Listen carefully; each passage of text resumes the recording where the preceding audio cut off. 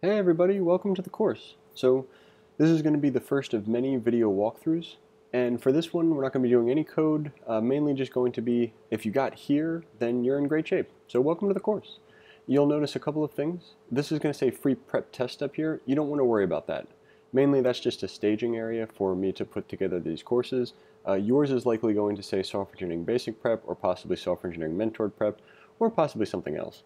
But the core of what's going on here isn't really going to change, so let's go ahead and get to it. So it says this prep course is going to guide you from your current JavaScript skill level, and it's going to get you to help. Uh, it's going to help you pass the technical interview. Now, because of that, there's two things you're going to want to do.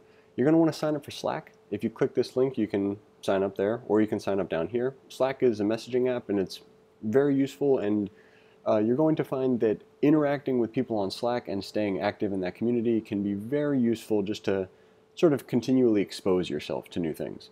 Uh, the next thing is you're going to take the placement challenge. And the placement challenge is essentially why we can say this course is designed for everybody. Uh, if you're a complete beginner, you might just want to skip that, but you also might want to have a look at it just to see what's coming up. But if you have a little bit of JavaScript experience or a lot, that should help you decide where in the course to get started, or if you should just go and jump into a technical interview.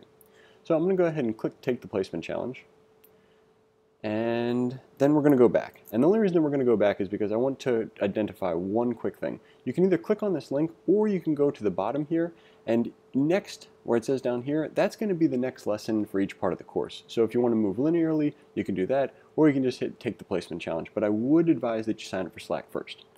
So if I click over here on the placement challenge, it says start a timer that will last for two hours. If you're not sure how to do that, timer for two hours will have you nicely set up. Go ahead and start that. Actually, it starts itself, which is nice. And then go ahead and walk through these problems. Try to complete as many of them as you can. There are a lot of them, and they're going to range from rather simple to slightly more complex and almost modeling our actual technical interview difficulty. And the idea is when you get to the end of that and the timer goes off, you're going to come all the way down here follow these instructions. So if I completed none to some of the basics, then I'm going to go ahead and start at the beginning of Module 0, which is essentially just the next lesson. If I did all of the basics, all of the intermediate questions, and some to all of the advanced questions, then I can either go towards the end of the course or sign up for a technical interview.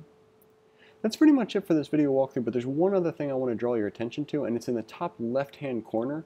There are these, uh, it's like a square of nine squares. If we go ahead and click that, you're going to see the overall curriculum view. So this says free prep test, but don't worry about that. Yours is going to say something like um, software engineering basic prep or software engineering mentored prep. And 89%, don't worry about that because I've done a lot of walkthroughs and this is kind of at the end of the walkthrough phase. So none of that is something you really need to worry about, but this is where you can view the entire course at a whole.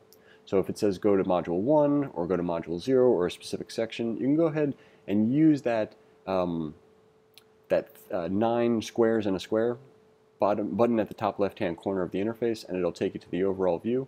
And here's where you can see the various modules in this course. Um, it might look different. We change the course rather often just to make sure that it's kind of up to date, but um, right now this is the current version of the course. So Module 0 is kind of going to introduce you to everything in JavaScript. Module 1 is going to get you to practice that over and over and over and over again.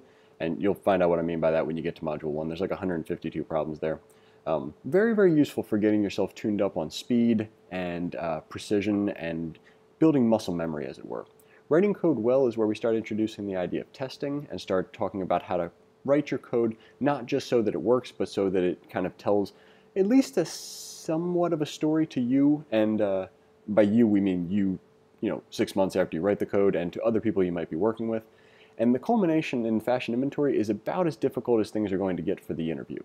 Live performance is a collection where we kind of take a little bit of a left turn and start talking about ways that you could actually approach the interview in a structured fashion, and then a bunch of exercises that are probably a little more difficult than the interview itself, but they are useful in terms of if the interview is a performance, practicing that performance is a good idea. Now this module is kind of under construction right now, but the idea for this one is going to be uh, some video walkthroughs of how to kind of practice for the technical interview, some basic data modeling that we might kind of go over, and then also a video walkthrough of actually signing up for the interview. So with all of that, I'm going to go ahead and return to the Welcome to Galvanize. And we're going to go back to the Welcome to the course just so this is nice and uh, this is where this video is going to show up. You're going to see a lot of these videos.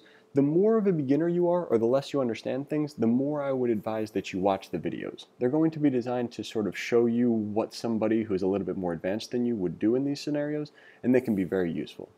So, thanks for watching, thanks for signing up for the course, hope you're enjoying yourself so far, and we'll see you in the next video.